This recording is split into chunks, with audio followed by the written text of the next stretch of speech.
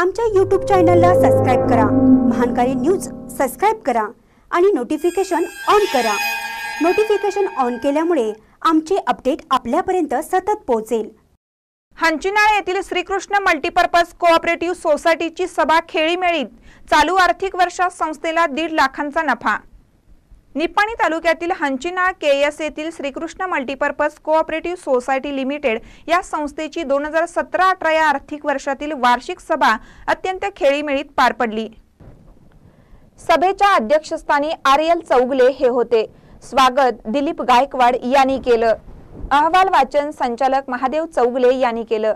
यावेळी सेवानिवृत्त दिनकर कोंडेकर सौ छबाताई भिवशे बबन हवालदार आदींचा सेवानिवृत्तीनिमित्त सत्कार करण्यात आला. Sudhakar Powar Dinkar Kondekar Tanaji Kondekar R L Chougule chairman Sagar Patil आदींनी मनोगतातून संस्थेच्या प्रगतीचा आढावा घेऊन समाधान व्यक्त केलं. सचिव विलास गायकवाड यांनी माहिती देताना सांगितलं की संस्थेचे तीनशे सभासद असून भाग भांडवल साठ हजार रुपये आहे. संस्थेला यंदाच्या वर्षी एक लाख पन्नास हजार रुपयांचा नफा झाला आहे. मागील वर्षी तीन लाख सत्तेचाळीस हजारांवर बोनस वाटप करण्यात आल्याची माहिती सचिव गायकवाड यांनी सांगितली.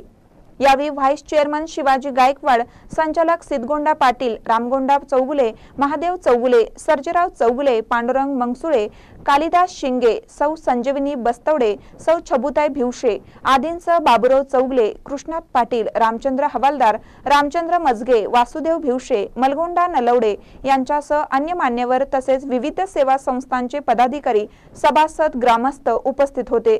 महिलांची उपस्थिती लक्षणीय होती. महानकर न्यूजसाठी हंचिनाळहून अनिल पाटील.